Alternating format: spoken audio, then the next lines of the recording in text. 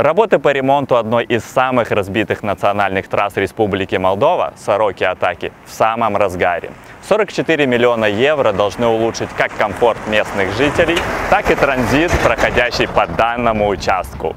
Сейчас вы можете увидеть, как было и как будет.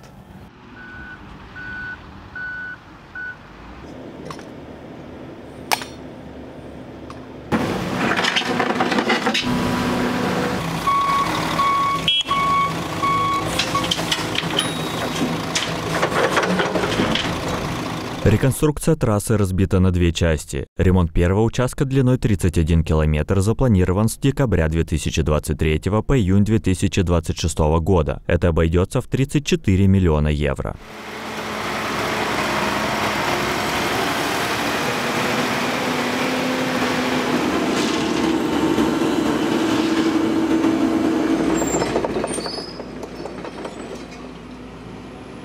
Реабилитация второго участка длиной в 9 километров 400 метров и стоимостью 9 миллионов 200 тысяч евро продлится с октября 2023 по октябрь 2025.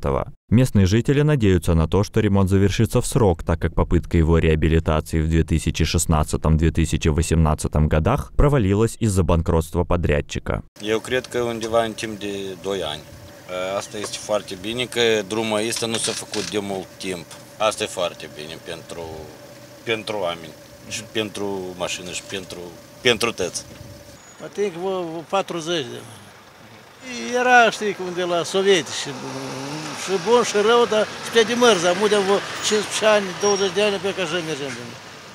Mulți kilometraj de, de drumul, păi așa, repede nu se face.